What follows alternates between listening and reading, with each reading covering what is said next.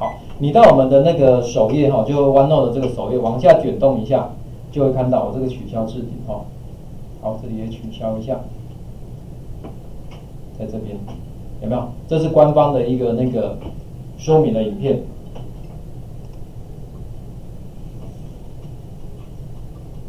哇，你们这样比较小一点，我把它放大了哦。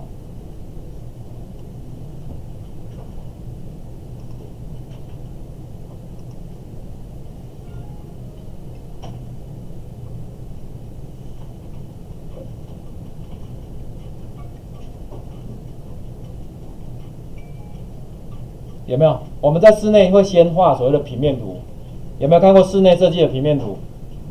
像这样子，然后呢，再把家具摆进来，三个步骤。第一个步骤，先画平面图。你也可以从外面叫进来，有没有？比如说我在外面画好了，然后把它当做一个底图，然后呢，把墙壁准备起来。接着你可以调墙壁的什么宽细啊，还有那个角度都可以调。门窗对不对？门窗先有，再来加什么？地板，因为每一个空间的地板，比如说厨房的地板跟什么，你房间地板，我们会用不一样的材质，对不对？有没有？这样我们刚刚一样，是不是色材质的？然后是在摆家具，最后你才可以外面的家具，如果万宁不在模型里面，你可以叫进来。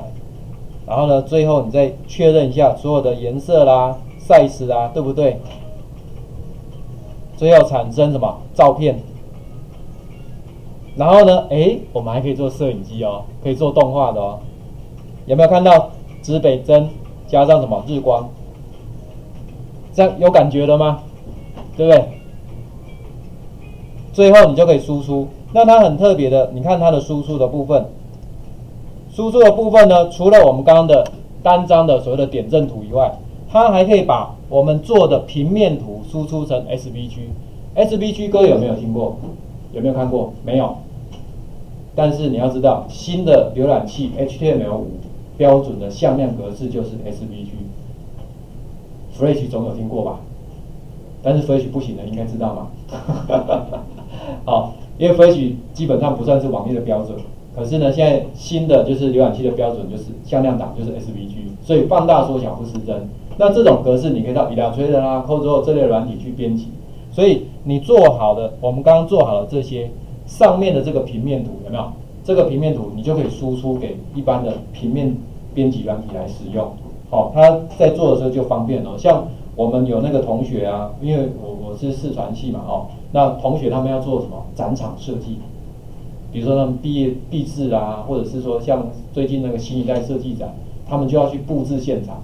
那他们很多还好多组同学就用这个软体来做，因为他一弄完，整个现场就出来了，就出来了。哦，所以其实速度会非常快哦。好，那这个呢，像这样怎么样？你还可以怎么样？PDF 跟什么？哦，刚还有一个 OBJ，你可以跟别的 3D 软体做模型上的交换。